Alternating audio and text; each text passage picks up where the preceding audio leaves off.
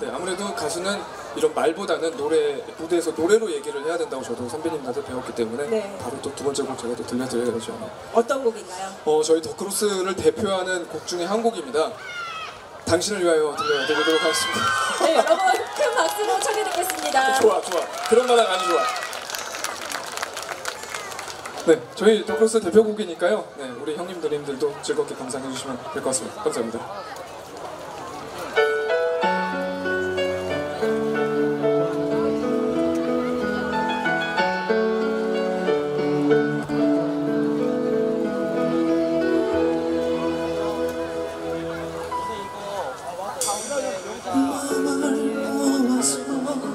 당신의 귓가에 다가가 말하고 싶어.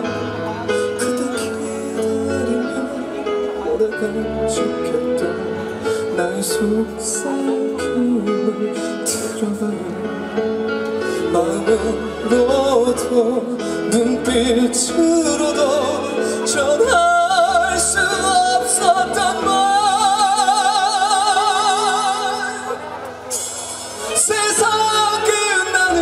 الأمان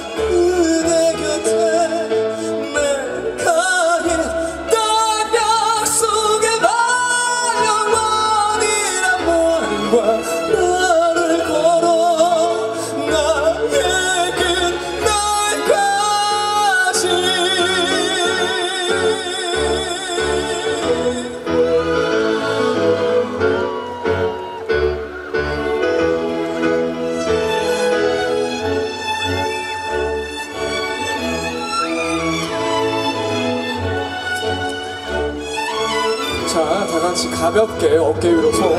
자, 박자에 맞춰서 좌우로 움직이겠습니다.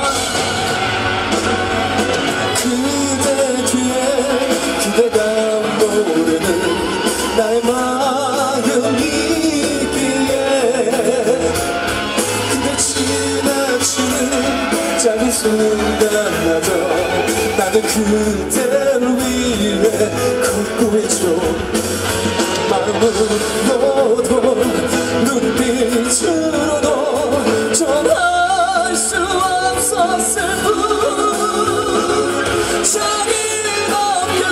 뿐 자기 어깨 위에